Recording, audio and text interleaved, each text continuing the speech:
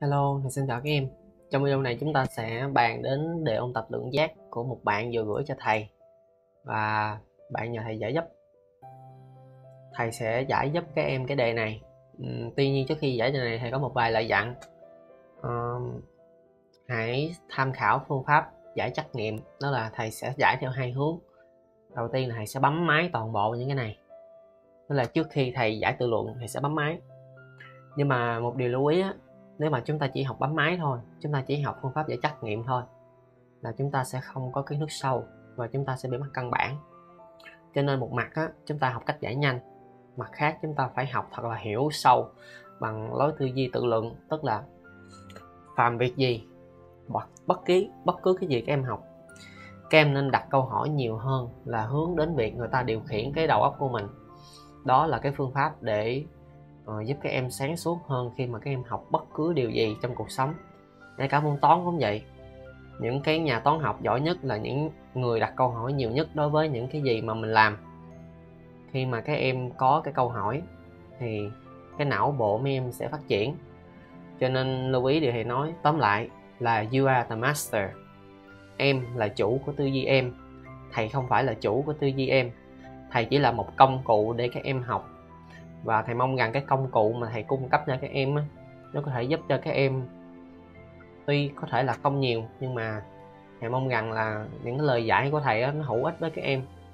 Tuy nhiên hãy đừng chủ quan các em hãy tôn trọng giáo viên bộ môn của mình à, xem của thầy và hãy hãy trong lớp tôn trọng giáo viên của mình coi trật tự xem họ giảng coi cái gì cái gì hay cái mình góp nhặt vào.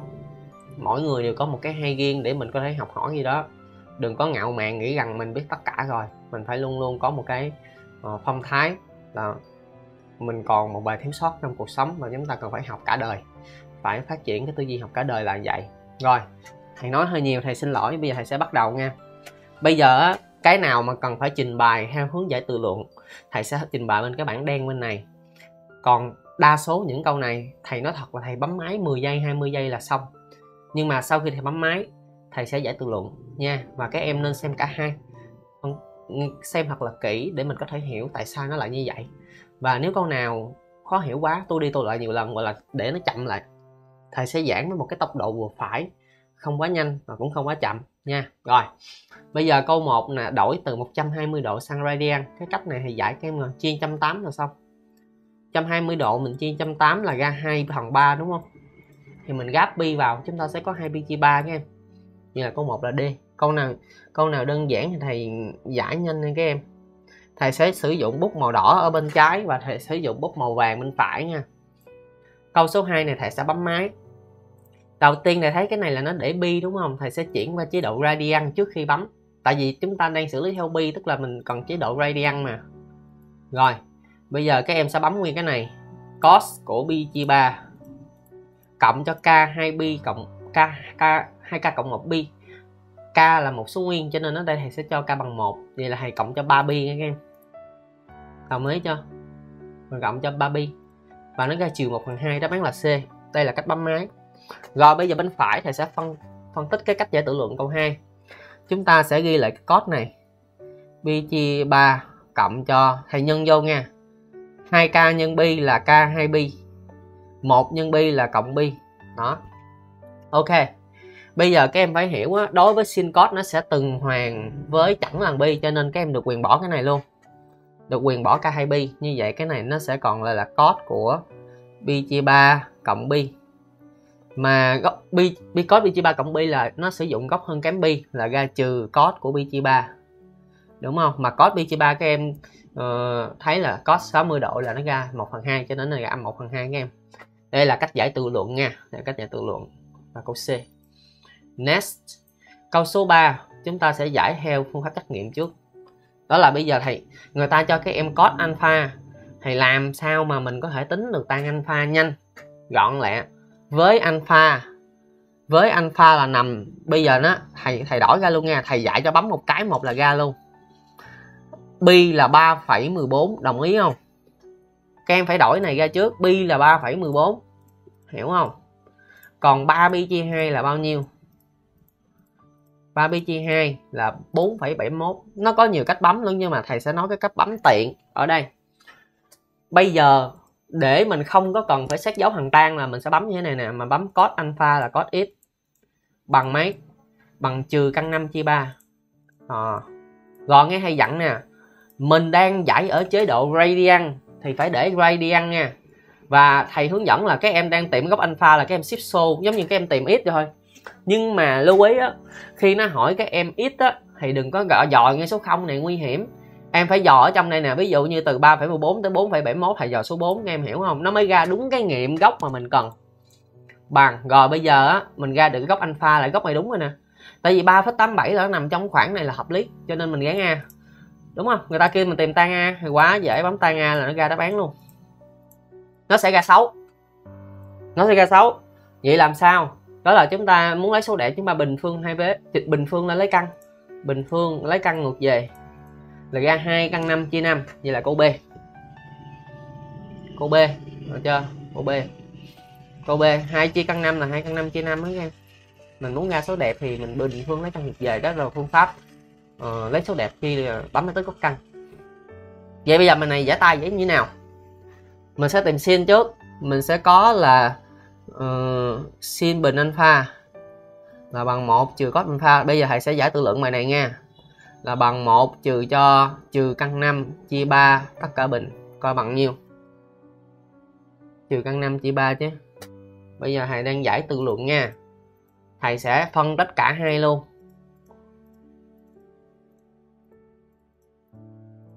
Rồi bây giờ thầy có được cái này là 4 phần 9 cho nên lúc này em có sin alpha là bằng cộng trừ 2 phần 3 đúng không? Căn của 49 là cộng trừ 2 phần 3 nhưng mà bây giờ người ta cho cái góc này là góc phần tư số 3 các em. Từ pi tới 3 pi chia 2 là góc phần tư số 3 đây là pi đây là 3 pi chia 2 ở góc phần tư số 3 thì là sin âm và cos âm luôn. Cho nên lúc này chúng ta lấy sin alpha là bằng uh, trừ 2 phần 3 từ đây tính đã chúng ta tính được tan alpha tan alpha là bằng sin alpha, chia cos alpha, là nó sẽ bằng trừ 2 phần 3 chia cho trừ căn 5 chia 3 là bằng 2 phần căn 5 là hợp lý hả các em. Như là câu B nha. Tất nhiên là mình mình giải theo cách này nó sẽ lâu hơn, đúng không? Nó sẽ lâu. Nhưng nhưng mà thầy cũng không có tự lượng với các em để các em đừng mắc căn bản đó. đừng mắc căn bản rồi tại vì lớp 11 chúng ta còn học lại mấy cái lượng giác nữa mà. Và thậm chí khi các em làm nghiên cứu ở trên đại học thì các em vẫn sử dụng lượng giác khá là nhiều cho nên chúng ta học thật kỹ nha không? Một lúc nào đó các em sẽ hiểu ý ý thầy nói là cái việc gì nó cũng sẽ có ý nghĩa của nó chứ không phải là thầy thầy thầy dạy các em không có lý, lý do nó có lý do hết. Bây giờ câu số 4 này chúng ta bấm máy bấm như thế nào? Dễ ạ. Cô tan alpha thì đổi ra một phần tan alpha giùm thầy? Hiểu ý thầy nói không?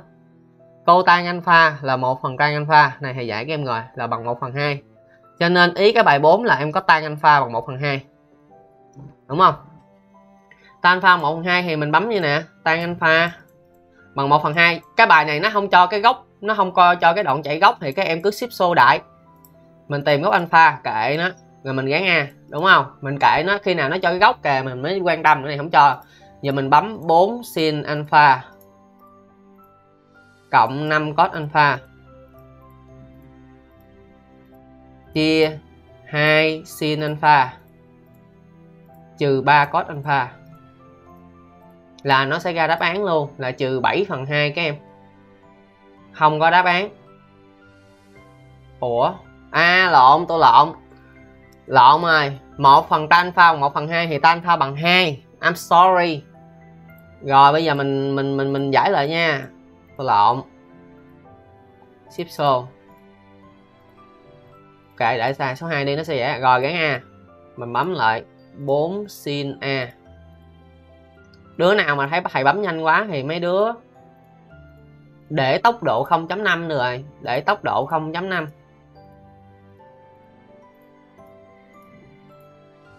bằng. 13 các em vậy là C uh, so bài này giải tự luận như thế nào bài này giải tự luận á, thì thầy sẽ bắt đầu từ cái biểu thức A nha biểu thức A nó sẽ bằng 4 sin A cộng 5 cos A chia cho 2 sin A trừ 3 cos A. Bây giờ làm sao để cho mình biến ra tan A? Ủa cô tan A. Nó là chúng ta chia trên dưới cho sin. À. Chúng ta chúng ta chia sin ở đây, chúng ta chia sin ở đây, chúng ta chia sin ở đây, chia sin ở đây, chia sin ở đây, cái nào cũng chia sin hết trơn á. Hiểu ý thầy nói không? Này cũng chia sin. Rồi gì đó gã gì? Sin chia sin là mất còn 4, có chia sin là 5 cô tan. À, sin chia sin là mất. Rồi là trừ 3 cô tan A. Tại vì có chia sin là cô tan đúng em. Vậy là mình thế vô cũng được. Ờ, cô tan là 1 phần 2 đúng không? Vậy là cái này là 4 cộng 5 phần 2 chia cho 2 trừ 3 phần 2 rồi nó sẽ ra đáp án 13 ok, này giải tự luận nha. Giải tượng thì các em thế này vô là xong rồi. Next, câu số 5 này cũng cái skill cũ. Là mình bấm máy trước là mình sẽ bấm sin alpha cộng cos alpha bằng mấy? Bằng 5 phần tư đúng không? Bây giờ nó không cho góc alpha chạy đâu đâu thì em ship số đại đi, nó sẽ đúng, nó sẽ luôn đúng à, nó sẽ luôn đúng em gắn a đi. Rồi em thế vào đây. Sin a nhân cos a đúng không? Ra ba chín phần 32 là b. Đó là cách giải của con năm dạng máy tính. Giờ mình giải tự luận giải như thế nào? Uh, so bây giờ mình có sin. Mình có sin a cộng cos a bằng 5 phần tư. Nếu mà thầy giải nha thầy sẽ sẽ bình phương hai vế lên thầy bình thầy bình cái này lên, thầy bình cái này lên. Bình cái này lên là 25 phần 16 đúng không? Còn cái này là sin bình alpha, sin bình a cộng 2 sin a, cos a cộng cos bình a. Sin bình a cộng cos a là ra một các em, cộng cho 2 sin a cos a bằng 25 phần 16 từ đây chúng ta có thể rút ra được sin a cos a rồi, sin a cos a là bằng 25 phần 16 trừ cho 1 chia cho 2 đúng không? Mình rút ra thôi. Trời, mấy người mắc căn bản chuyển vế chỗ này là thầy nói mấy người cũng hiểu nha. Học lại cách chuyển vế. Trừ 1 chia 2 gây nhiêu? 9 phần 32 là hợp lý rồi nha. Đó. Tất nhiên em có quyền chọn lựa bấm máy hay là dễ tay. Nếu là thầy câu năm thì bấm máy thì em dễ tay để trắc nghiệm rồi, bây giờ câu 6 nó cho m đúng không? Rồi, mình cho đại m. Câu 6 này giải cũng dễ ợt luôn. Thầy cho thầy cho đại m luôn mà. Thầy bấm máy máy nha, tại vì thầy thấy đáp án thêm m nè. M m m m. Thầy cho m bằng 2 đừng cho một nha, cho m bằng 2 tại vì nó có thể bị trùng nha em. Cho m bằng 2 thì lúc này thầy sẽ bấm tan alpha là tan x, cộng cô tan alpha là cộng 1 phần tan x đúng không? Bằng m là bằng mấy? Bằng 2 cái gì? Mình ship xô mình tìm góc này. Rồi mình gắn a cho nó chạy đi gắn a xong rồi á, mình ra ngoài đây mình bấm. Mình bấm cô tan mũ 3 cộng tan mũ 3 cô tan mũ 3 là một phần tan mũ 3 nghe các em. Tan mũ 3 là các em bấm vậy nè, được chưa? Cộng cho tan mũ 3 đó tan mũ 3 alpha là vậy. Ok. Nó ra hai. Đúng không? Nó ra hai. Sắp xỉ là hai như vậy mình kiểm tra lại coi với m bằng 2 thì đáp án nào ra 2 đáp án là b, đúng rồi. Tại vì á, tại vì m là 2 thì 2 mũ 3 trừ 3 nhân 2 là bằng 2 đúng rồi. À chỉ là, thế là cô b thôi. Chỉ là cô b thôi, các em. Rồi, vậy bây giờ bài này á, giải tay thì giải như thế nào? Bài này giải tay nó hơi dài nha, nó hơi dài. Nhưng mà thầy cũng sẽ giải cho các em. Bây giờ thầy sẽ đi từ cái biểu thức này trước. Thầy sẽ có là thầy sẽ đặt, thầy sẽ đặt đi. Thầy sẽ đặt cái đi. Thầy sẽ đặt tan mũ 3 alpha là bằng a. Cô tan mũ 3 alpha là bằng bằng b. Vậy giờ thầy có biểu thức này nè. Biểu thức này thì đặt lại chữ a đi. Nó sẽ bằng a mũ 3 cộng b mũ 3 đúng không? Hiểu không? Nó bằng a mũ 3 cộng b mũ 3 thì cái này nó sẽ bằng gì? Bằng a cộng b nhân cho a bình trừ ab cộng b bình hằng đẳng thức mũ 3 đúng chưa? Rồi, vậy bây giờ a cộng b là nó ra m rồi. Tan cộng cô tan là ra m, đúng không? Để m. A bình cộng b bình. A bình cộng b bình là a cộng b tất cả bình. Trừ ab trừ 2b chứ. Em nhớ lại không? Em nhớ lại lớp 9 mình có cái này là x1 bình cộng x2 bình. Bằng x1 cộng x2 tất cả bình. Trừ 2 là x1 x2 ờ, cho nên á a bình cộng b bình á nó chính là um, a cộng b tất cả bình trừ 2 là ab trừ ab nữa là trừ 3 là ab mà tan nhân câu tan á tan mũ 3 nhân câu tan mũ 3 nó sẽ bằng một các em. Do tan do đâu? Tan mũ 3 alpha nhân cô tan mũ 3 thầy giải hết cái đi. Nó sẽ bằng một do đâu? Do em có một cái đặt một cái gì đó đó là cô tan bằng một phần tan cho nên hái này nhân nhau bằng một đó em được chưa? Cho nên này là m nhân cho m bình trừ 3 m. Ủa, trừ 3 không à? Là bằng m mũ 3 trừ 3 m. Đó, vậy là câu b đúng rồi. Tất nhiên bài này giải tủ luận căng đúng không? Căng, cho nên ok, không sao không sao không sao không sao. Rồi rồi bây giờ có 17 nó độ đúng không? Độ độ độ độ. Rồi mình linh hoạt, mình chuyển cái chế độ radian này sang chế độ độ mình phải bấm? Hiểu không? Và mình chuyển ra chế độ degree nè. Rồi giờ mình bấm sin 2x nhân sin 3x đó, tôi phân tích hai cách cho mấy người luôn á.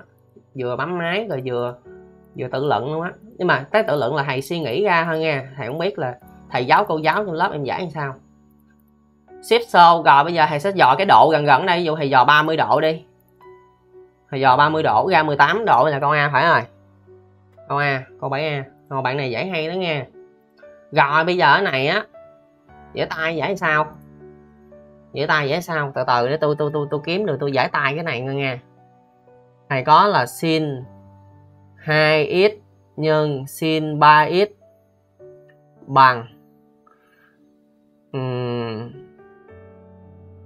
thôi bây giờ thầy sắp lại đi. Thầy không để uh, sin 2 nhân sin 3 mà thầy bể sin 3 nhân sin 2 cho nó dễ nhìn nha tất nhiên là phép nhân có tính giao quát mình vẫn sử dụng được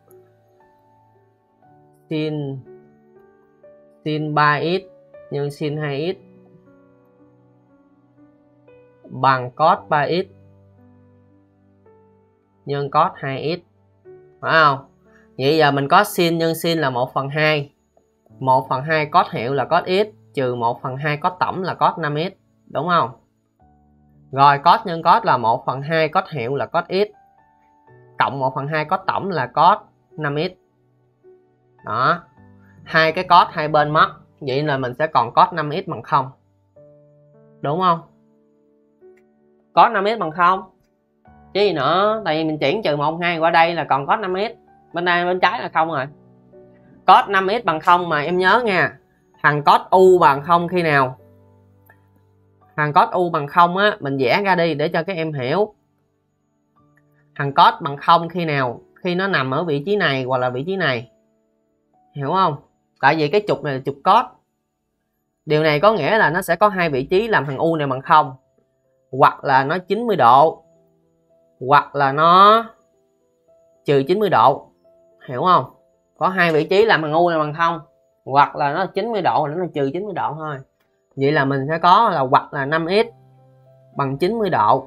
Hoặc là 5x bằng trừ 90 độ cho nên mình giải ra một cái là x bằng 90 chia 5 là 18 độ. Hoặc là một cái là trừ 18 độ. Vậy cái nào đúng? Câu A đúng. Tất nhiên là mấy người á, mấy người xếp xô mấy người cũng tin tôi, mấy người xếp xô trừ 18 này nó cũng ra trừ 18 luôn. Tôi đảm bảo mấy người luôn á. Nó cũng ra trừ 18 độ à cho nên 18 độ hay trừ 18 độ vẫn đúng thầy nó đã phân tích cái em rồi. Nhưng mà tại vì cái đáp án trắc nghiệm này nó 18 độ à rồi, cho nên đáp án này đúng ờ, câu 7 này còn cách nào giải trắc nghiệm nữa không? Đó là mấy em thế từng cái độ này vô đây coi nào đúng hay nhận. Nó nhiều cách lắm nhưng mà tốt nhất là bài 7 này đừng có giải tay trời trời bài 7 này giải trắc nghiệm đi. Đã nói trắc nghiệm thì chơi skill trắc nghiệm. Rồi câu 8 này ờ, thầy sử dụng skill trắc nghiệm làm sao thầy cũng tương tự. Bây giờ thầy sẽ điểm này trước alpha chạy từ đâu tới đâu trước nha. Thầy đổi ra số phân cái đi cho mấy em dễ nhìn.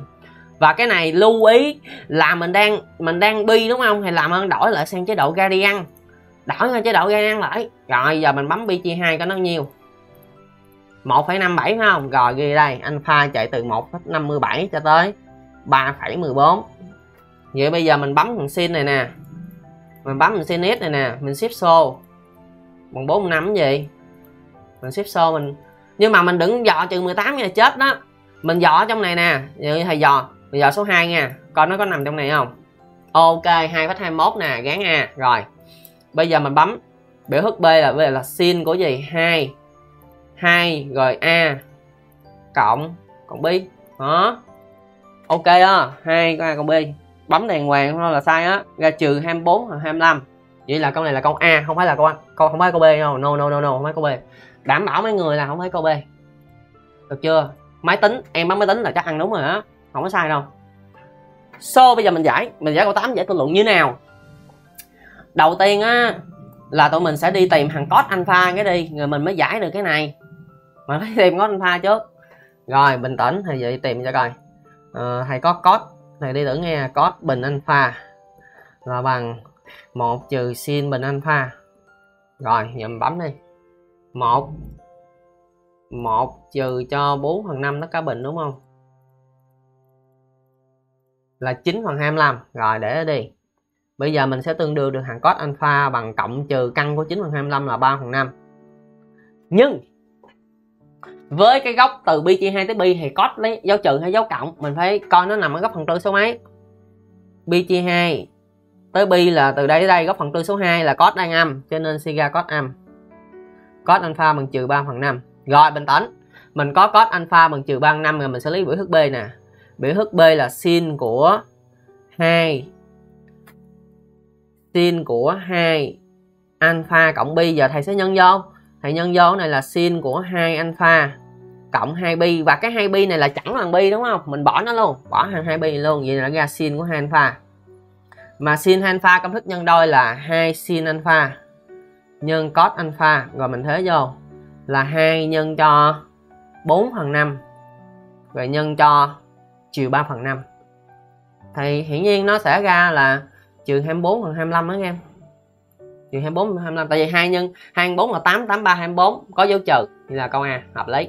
Next. Câu 9 giải tương tự em em. À, câu 9 giải cũng tương tự thôi không gì khó chứ á. Câu 9 nó cho cos alpha. Thì bây giờ mình mình đổi cái alpha này ra đi. Thì đổi ra số phân nha. Ờ, 3 pi chia 2 là nhiêu trời? Tự nhiên tôi quên nữa. 3 pi chia 2 tôi đổi số phân cái tôi đổi tôi bấm máy nữa nha. 4,71 phải không? Rồi. 2 bi. 6,28 rồi tôi nhớ luôn rồi. Khỏi bấm. Bây giờ cách một tà đạo. Tà đạo. Tà đạo. Rồi giờ mình bấm thôi. Mình bấm thôi.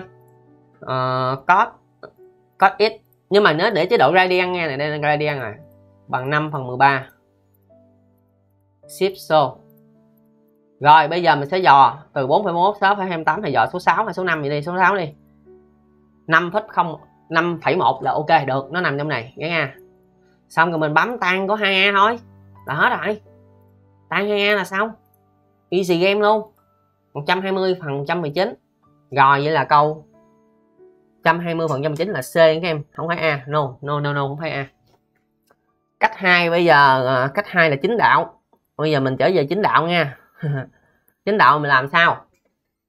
Uh, so bây giờ mình phải tìm sin chứ mình phải tìm sin mình sẽ có mình sẽ có sin bình alpha. Bằng 1 trừ cos bình alpha. Đúng không? Rồi thế nhau tìm sin tóm lại là em tìm sin pha cho thầy trước. Tìm sin pha. Ờ, 1 trừ cos bình là 1 trừ mấy nhỉ? 1 trừ 5 phần 13 tất cả bình hả? Tôi bấm lộn.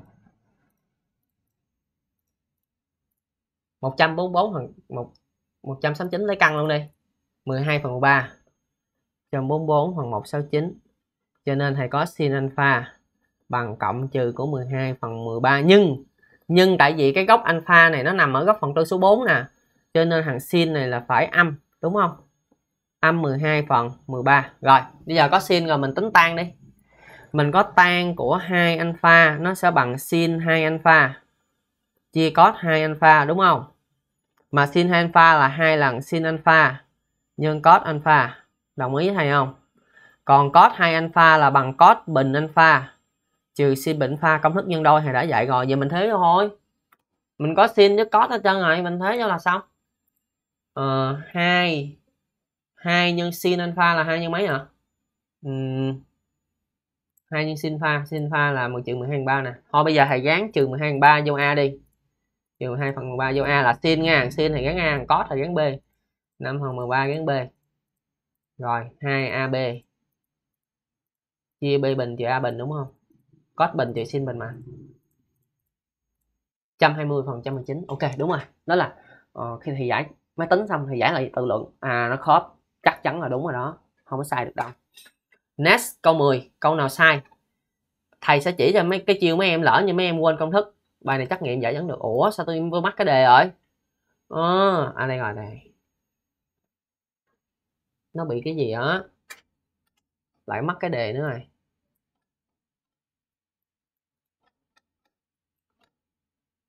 rồi, bây giờ cái câu 10 câu 10 thì sao? Câu 10 là thầy, thôi thầy sẽ không giải chiêu nha.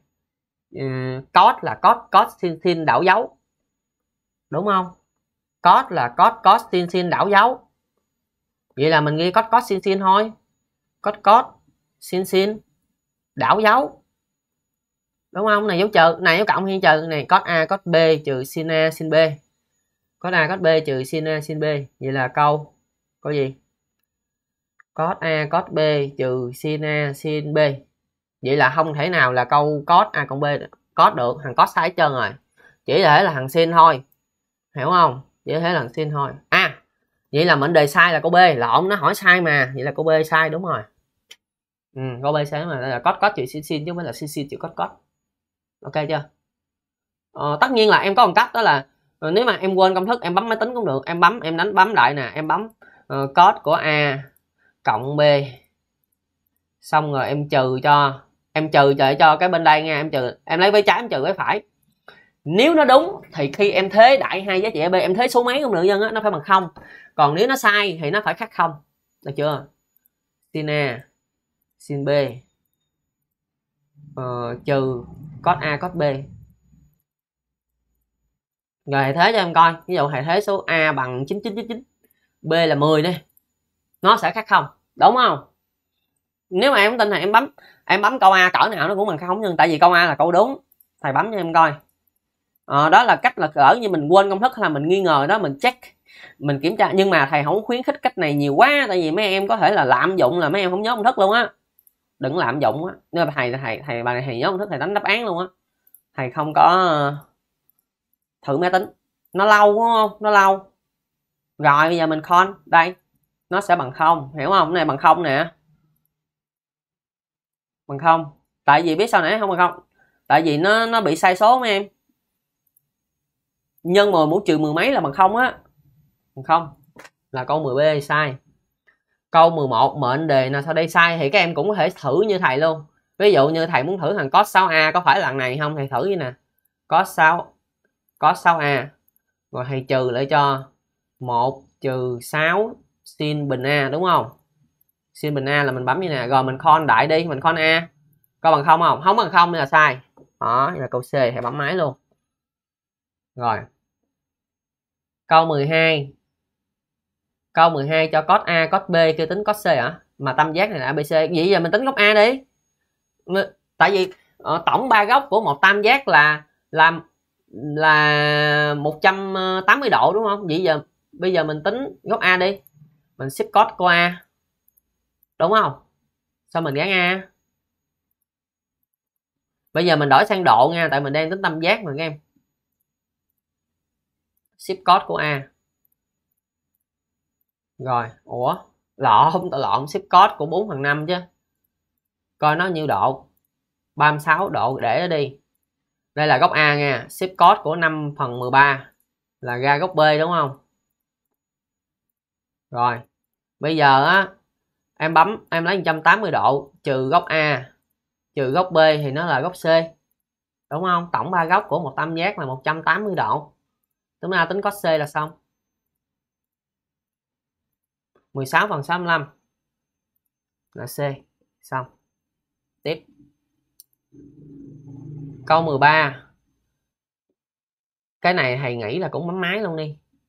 Ờ bấm máy luôn đi. Tự nhiên tôi làm biến giả tay quá à mấy cái dễ tay vô lớp hỏi nha, giờ thầy bấm máy. Cos x cộng cos 2x đúng không? Cộng cos 3x bây giờ muốn biết nó bằng hay không, mình làm cái gì? Mình lấy cái đề này nè. Mình trừ lại cái đáp án. Nếu nó bằng không thì đúng, không bằng không thì sai. Rồi, giờ thầy trừ câu a chứ nha. 2 cos 2x nhân cho cos x cộng 1 đóng lại. Con con đại cái ít đi. Rồi, nó không bằng không. Loại con a đi. Không thế nào con a. Bây giờ thầy coi câu a nó giống giống như cái câu câu c nè, mình đổi ra đi. Cái này là cos 2x à. Cái này là cos 2x nhưng mà hai có 2x chia cho 2 cos x trừ 1 đúng không? Mình đổi lại. Rồi, mình con tiếp. Có bằng không không? Không bằng không. Loại câu C luôn. Vậy là chỉ có thể là câu D hoặc câu B. Câu D thấy nó gần hơn thì bắn câu D trước cos 2x nhân cho 2 cos x cộng 1 rồi con cái nữa. Bùm. Ra bằng không. Đó nó đó là câu D đó. Là câu D. Còn câu này nếu mà giải tự luận á uh, tôi nghĩ là giải tự luận là tôi sẽ tôi sẽ dùng công thức cộng. Xài công thức cos cộng cos bằng hai cos cos á. Cái biểu thức m này hơi hướng dẫn anh thì không làm nha. Thôi tôi làm luôn đi. Cos 2x thầy để ấn trước thầy lấy để này cos x cộng cos 3x Ừ, thầy dời, thằng dời có yếu ở đây để thầy cộng hai này lại. Cos cộng cos bằng hai cos cos a cộng b chia 2 là 2x a trừ b chia 2 là còn cos của trừ x đúng không? Mà cos của trừ x thì kể như cos x rồi các em. Rồi, đặt nhân tử cos 2x ra. Ở trong là còn lại 1 cộng 2 cos x thầy nhắc lại là cos của trừ x thì cũng giống như cos x thôi, do đó là góc đối. Và câu câu câu d đúng rồi. Câu d đúng rồi đó. Này, mình áp dụng kiến thức cũng ao ủa? Nữa rồi sao mắt nữa rồi what happening? Nó chạy chạy, thầy. Bây giờ thầy đang ghét cái Microsoft bo này, giờ thầy ít xài mấy cái Microsoft bo. tìm giá trị lớn nhất nhiều nhất, rồi cái này á, là mình sẽ xài để lý kẹp. Nhưng mà thầy sẽ không dạy lý kẹp, thầy bấm máy. Bây giờ làm sao thầy bấm này? Thầy bấm mod 7 thầy bấm mod 8 này nè, mod 8 nha. Gọi là nếu mà máy khác thì bấm mod 7 nó có chữ table nè, mấy em bấm vô một, trừ hai trị tuyệt đối của cos 3x đúng không? Xong rồi em chạy vòng đường tròn. Em chạy là từ bắt đầu là không, kết thúc là 2 bi. Lộn rồi thầy chuyển qua gradient cái nha. Thầy chuyển qua gradient thoát ra ngoài cái đi, rồi hãy mới chuyển gradient được. Không, tới 2 bi bước nhảy á, là các em lấy 2 bi chia cho 29 giùm thầy, rồi do đó thầy sẽ giải thích tại sao mình chạy như vậy. Được chưa ở đây là cái cái video trắc nghiệm nên thầy không giải thích được kỹ. Em coi bên FF nè, cái nào nhỏ nhất thì là gì nhỏ nhất? Thì thầy đoán là nhỏ nhất là trừ một nè, kéo lên coi, lớn nhất là gì? Nhỏ nhất là trừ một rồi. Lớn nhất là nó tầm 0.5 á. Có số 1 không? 0.67 0.89 nè. 0.89 vậy là lớn nhỏ nhất.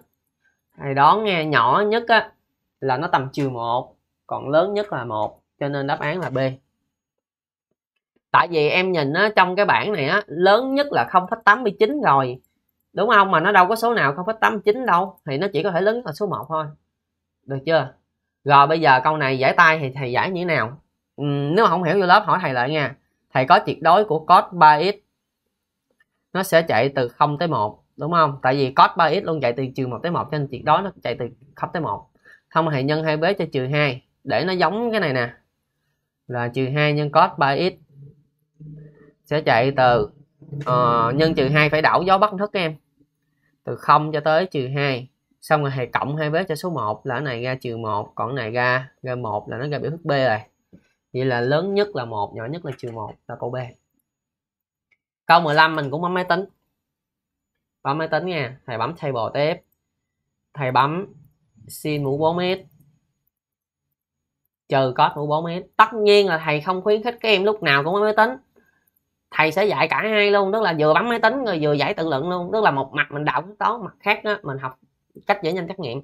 Lớp 12 nó có nhiều skill giải nhanh trắc nghiệm đó lớp 11 là còn ít á rồi cũng chạy gan vậy thôi. Từ 0 tới 2 bi mức nhẫn là 2 bi chia 29 rồi bây giờ mình coi thầy đón là min là trừ 1 nữa nè. Coi mắt mắt là một rồi mấy em. Nó là 0,9941 nè. Hợp lý rồi đúng rồi. Đâu có cái nào lớn hơn nó đâu là câu câu C đúng rồi. Bài này dễ tay dễ sao chạy? Uhm, ok thầy thấy đường dễ tay rồi. Nhưng mà để thầy trình bày cho mấy em coi nha. Thầy ghi lại hp cái đi. Thầy có sin mũ 4 mét trừ cos mũ 4 x rồi bây giờ thầy sẽ làm gì? Thầy đặt thầy đặt a bằng sin mũ 4 đấy. thầy đặt a bằng sin x rồi thầy đặt b bằng cos x đi. Ra mấy em dễ nhìn á, thầy này ra a mũ 4 trừ b mũ 4 đúng không? Mà nhớ nha, nếu a bằng sin x b bằng cos x thì là a bình cộng b bình bằng một nha, tại vì sin bình cộng cos bình một. Vậy bây giờ thầy sẽ đưa này về hạng thức a bình tất cả bình trừ b bình tất cả bình là bằng a bình cộng b bình nhân a bình trừ b bình. A trừ b a cộng b nhân a trừ b á. A bình cộng b bình là ra ra một rồi. Đúng không? Mày mới nói. Bây giờ a bình trừ b bình á thì mình sẽ biến thành gì? Trời rồi để tôi tôi, tôi, tôi, tôi biến thôi. Nó sẽ thành à nó sẽ bằng sin bình x. Sin bình x trừ cos bình x đúng không? Tổng ý không? Mà mình sẽ có cái này đặt dấu trừ ra ngoài, ở trong còn cos bình x trừ sin bình x đồng ý không? Mặt cos bình x trừ sin bình x là cos 2x à vậy là này trừ cos 2x mà em có cos 2x thì chạy từ âm 1 tới 1 nguyên lý kẹp của sin cos cho nên chúng ta sẽ có trừ cos 2x cũng chạy từ âm 1 tới 1 bắt quá là mình, nó đổi dấu bắt nó thức thôi. Cho nên bài này mắc là một min là trừ một. Đáp án là C câu 16 trời bấm máy min mắc nhiều vậy? Rồi, giờ mình tìm nữa nè. Mình bấm 8 sin bình x. Cũng là xài phương pháp bấm máy nha. Cộng 3 có 2 x. Còn bây giờ mấy người muốn giải tay đó thì tôi đó, tôi vừa giải với tay đó mình mà đâu hiểu đâu, đúng không? Không hiểu. Thì mình sẽ vô lớp mình hỏi một cái nữa để thầy nói. Không thể nào á, các em chỉ học thêm một tuần, hai buổi mà mình bao quát hết tất cả những kiến thức kiến thức này, kiến thức nâng cao á. Tìm mắc min của sin code á, là thầy thầy nói thật á nó nằm trong sách nâng cao á nó nằm trong cái cái phần kẹp sin code ở của lớp 11 á. Lớp 11 các em mới học cái phần kẹp sin code đó nhưng mà thật ra các em cũng thể giải được rồi. Nhưng mà ý thầy nói cái dạng này dạng nâng cao được chưa? Để mình học tự luận là mình phải học nâng cao. Nhưng mà bài này bấm trắc nghiệm thì đơn giản không gì khó hết. Rồi chạy từ 0 tới 2 pi tiếp. Rồi này thầy để sẵn rồi. Rồi bây giờ mình coi mắt là có thể là ba nè. Không mắt không phải ba lộn I'm sorry. Mắt là 3,73 mới đúng ủa lộn lên nữa bốn phẩy mấy, năm luôn. Mắt là năm. Đúng không? Câu 16 mắt là năm. Mắt là chữ M lớn nha. Là năm rồi. Tại vì thầy nhìn á, em nhìn vô cái fx này, cái nào lớn nhất thì nó là giá trị lớn nhất. Được chưa? Mắt là năm. Min là 3 đúng không? Mắt 5 min 3 mình nhìn hết cái bảng này mắt 5 min 3 mắt 5 min 3 cho nên 2 nhân mắt trừ min bình là bằng 1 vậy là câu A. 16A next. Câu 17 rút gọn biểu thức này. Thì rút gọn như thế nào? Bây giờ câu 16 thì không giải tay nha, thầy làm biến quá. Câu 16 giải tay, khai triển hội thì nghĩ cũng được á. Ừ, thầy nghĩ là sẽ hạ bậc thằng xin ra. Câu 16 giải tay là hạ bậc thằng xin rồi xài nguyên lý kẹp của của con có hay ít là xong rồi. Nhưng mà mấy em muốn giải tay thì suy nghĩ nha. Thầy không giải tay thì làm biến quá.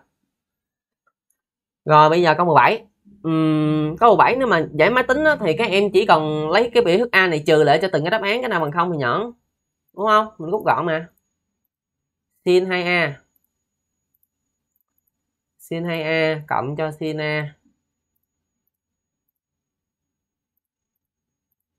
Chia 1 cộng cos 2a cộng cos a hả? Cộng cos a. Rồi trừ lại trừ lại từng đáp án thôi trừ lại ví dụ như tan alpha phải không? Phải không? Giờ mình con đại mình con đại cho a là cãi nó còn không? À ngon luôn. Như là tan alpha luôn rồi. Ngon ngon ngon ngon. Vậy là câu 17 a luôn. Rồi, khỏi dạy. Giờ tôi vẽ tay thử à a là bằng sin 2a cộng sin a. Thầy vẽ tay thử nha. Chia. 1 cộng cos 2a cộng cos a. Bây giờ thầy sin thằng sin này thầy thế nhân đôi là hai sin cos ok. Cộng sina. À. còn hàng cos này thầy, thầy ra là hai cos bình trừ một. Là một cộng hai cos bình trừ một. Hai cos bình a trừ một cộng cos a. Ok ở trên thầy đặt sin a ra ngoài. Ở trong còn hai cos cos a chứ không phải cos x. Hai cos a cộng một. ở dưới trừ một với một mất thầy đặt cos a ra ngoài. Ở trong còn hai cos a cộng một hai cái cos a cộng 1 mất còn sin a chia cos a là tan a đúng rồi. Vậy là câu 17 thầy dạ đại nó bấm máy đúng rồi. Next. Câu 18 em tự bấm máy y khuôn nha. Câu 18 ừ, bấm máy nó cũng y gan câu 17 nha à. ở đây câu 18 thầy sẽ giả tay thôi thầy không bấm máy. Câu 18 nó cho gì vậy? Uhm, 18 thầy giải tay nha. Bấm máy thì các em dựa vào cái thầy giải á. Sin a. Alpha thầy để a nha. Rồi thầy làm biến gì chứ alpha. Mũ năm à mũ năm mũ năm mũ năm mũ ba trời. Mũ năm à. Sin alpha. Sin a nhân. Trời trời, sao tôi alpha lúc tôi pha, alpha lúc tôi a thôi, mệt quá, tôi để sin x đi. Sin x cos mũ 5 x trừ sin mũ 5 x nhân cos x gọi này sao tự nhiên cái đầu óc của thầy cũng trống rỗng. À thầy đặt sin cos ra ngoài. Thầy đặt sin x nhân cos x ra ngoài. Ở trong là còn cos mũ 4x trừ sin mũ 4x đúng không? Bình tĩnh.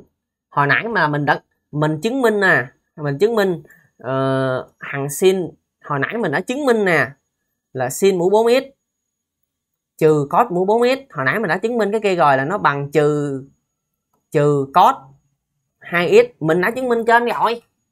Nãy ờ, ở nhớ một một bài trên tụi mình đã chứng minh cái này luôn đó. Là mình đã chứng minh từ cái câu từ cái câu 15 nha. À, mình chứng minh là hằng sin mũ 4 trừ cos mũ 4 là bằng trừ cos 2x ngon, vậy mình xài luôn. Mình xài luôn, mình sẽ có cos mũ 4 trừ sin mũ 4 là bằng cos 2x đúng không? Nó ngược lại. Một thằng là sin sin mũ 4 trừ cos mũ 4 một thằng là cos 4 trừ sin mũ 4 nó ngược dấu lại. Đó là cos 2x vậy này là ra sin x nhân cos x rồi nhân cos 2x luôn. Ngon quá. Rồi, vậy là mình sẽ có sin nhân cos là 1 phần 2 sin 2x tại vì sin 2x là hai lần sin cos, cho nên sin nhân cos là 1 phần 2 sin 2x rồi, nhân cos 2x vậy mình lại nhân đôi thêm cái nữa. Sin 2x nhân cos 2x nó lại là 1 phần 2 sin 4x các em. Cho nên đáp án cuối cùng là 1 phần 4 sin 4x vậy là câu này câu D rồi. Ok, câu D. Xong. Có 18 em bấm máy là một phát, một chưa đầy ờ, 20 giây là xong rồi, nhưng mà ý là nó dễ tay là ra 1 phần 4 sin 4x đó rồi đó là toàn bộ những cái gì mà thầy muốn giúp các em ở cái phần giải lượng giác này. Toàn bộ cái này các em phải bấm máy. Tuy nhiên um, hãy cố gắng suy nghĩ những cái phần cường lượng thì giải nó cũng khá là hay để bổ trợ cho cái kiến thức lớp 11 đó các em giải phương diện lượng giác á. Cho nên hãy cố gắng. Được chưa? Nếu có cái gì khó khăn hãy nhắn tin cho thầy thầy sẽ luôn giúp các em. Tuy nhiên you are the master. Em là chủ của bản thân em. Hãy học cách chịu trách nhiệm với cái thành tích học tập của mình đừng có đổ lỗi cho giáo viên, đừng đổ lỗi cho ai cả. Chính em phải là người chịu trách nhiệm cho cuộc sống của mình. Được chưa? Thầy không chịu trách nhiệm cho cuộc sống của em, giáo viên, bộ môn cũng không chịu trách nhiệm cho cuộc sống của em, ba mẹ cũng không chịu trách nhiệm cho cuộc sống của em. Chính em phải chịu trách nhiệm cho cuộc sống của mình. Thì lúc đó em mới trở thành người tài giỏi được. Lúc nào em cũng đổ lỗi thì em sẽ không tài giỏi được đâu. Rồi, thầy làm vậy các em nghe, thầy chúc các em học tốt. Bye bye.